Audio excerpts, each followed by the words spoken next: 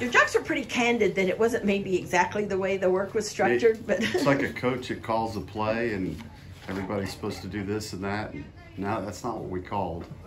Um, Corey was worried about Brian's horse getting a little keen in front of him, and um, he was afraid they were going to go too fast. And we just wanted a 12s workout, and I think it I think it played out that way. But um, they were supposed to go 12s kind of side by side, and um, I told them they didn't have to like like in, totally engage, but I wanted them to go like 48 in a couple. And I think they ended up going that. I'm, I'm not sure if they clocked them independently, but no, that wasn't the play I called. How often does that happen? I mean, it, it seems like things can obviously. It happens. Yeah. Yeah, it does happen. I mean, and Brian Brian's horse is doing ex- exceptionally well too, and and uh, Corey was worried he was going they were going to go too fast because I was adamant that I did, want, did not want them going too fast. You know, they didn't need they didn't need to go down there in 46 or something Yeah. like that. What about Rattle and Roll? He worked too, and he obviously did wear the the Derby saddle towel. He's whatever four spots away. What what are your intentions with him? I'm not intending on running. Yeah. No, I, I mean he's he's deep in the in the list. Um, you know, Mike Mackin and I talked about it, and and Mike said he'd like to keep keep him on the possibles. Horse is doing fine, Yeah. um, but but he's unlikely. Yeah. would he run in the Pat Day Mile then? No. No. No, I don't think I even nominated him. Would he point towards the Preakness? Probably, but I, but I'd really like to get this horse back into winning ways.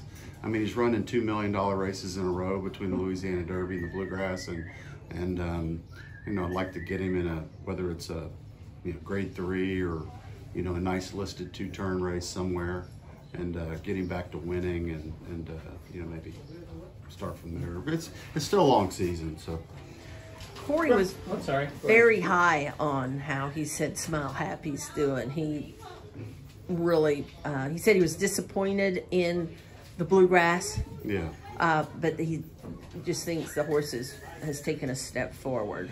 Well, thir- third race off the layoff, and and I do think we've got it spot on right now. Fingers crossed. But he he um, he is doing really well. He got a little tired in the bluegrass. I think he needed that race, um, especially the fact that we laid him a little closer than than uh, than the eventual winner.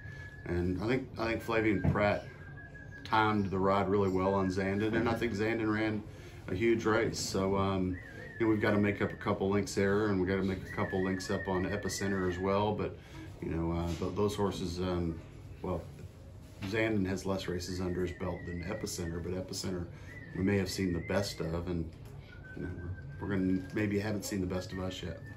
What about Tiz the Bomb, Kenny? Uh, obviously, the, he's a great wild card in this race. Um, his form stacks up. You know, obviously he beats Tawny Port and the, the uh, Jeff Ruby, but you know he's got the dirt win at Ellis, but underachieved in the race in the Holy Bull. What, what's your expectations about the dirt with him? Well, um, yeah, I'm, I'm interested to see where he draws, and I'm not sure it matters inside or outside, but we're going to allow him to run early and maybe keep keep a little uh, adversity out of his way. I mean, he's got enough speed to to go out. He broke his maiden in 23, 47.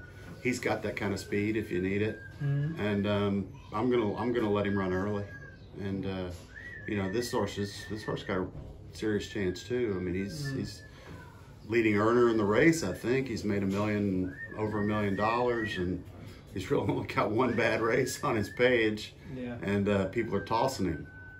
Might be a mistake. You know who loves him is Mike Battaglia.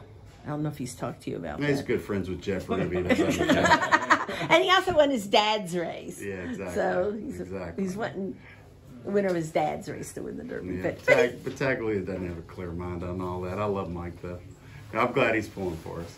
Talk to me about your, your two jocks, uh, uh, Brian and, and Corey, and obviously they're two guys you ride quite a bit, and and uh, give me your your impressions of those two. Well. I liken this to a home game for us because because Brian between Brian and Corey, I mean, I, I think they're both in the top ten all time here. I mean, Jenny probably know before me, but these guys have been around this oval all their life, and they're both two solid, solid journeyman rider. I mean, I don't know how many riding titles Corey's got here at Churchill, but he's here now. He can tell you. 19. Yeah. So, um, Yeah. so, so I don't have much concern about them knowing their way around there, and um, you know, I think both both um, Brian and Corey are, are due a signature horse, and maybe one of them's got it this coming week. Are you doing a signature horse?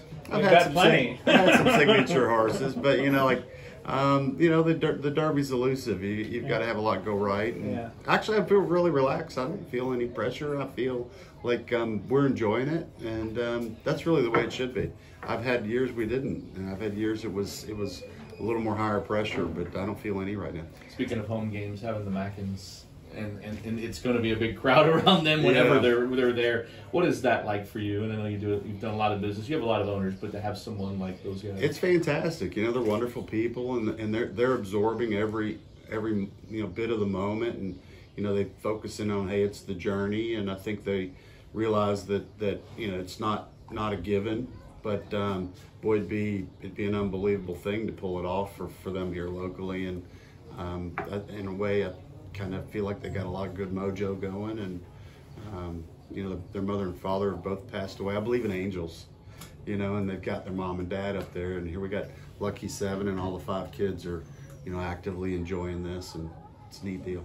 One thing about Corey Lanerie is if it's a tight hole, he almost out Borel Borel when he got second on Lookin At Lee in the Derby. I mean, he's Yeah. not afraid to go through a hole that doesn't exist. I'm a big fan of the Cajun riders. You know, they, a lot of them do that. They they're very very savvy, and and um, I feel real confident about both guys being out there. What about the filly? How's she coming into the race? You know, you know, um, she's doing great. Um, she put in a really good work. We worked her second set after the break today, and um, you know, she's going to have to have some things set up for her. And she's going to have to run the race of her life, and it is a good group. Um, my expectations are modest, but you know, she's ready.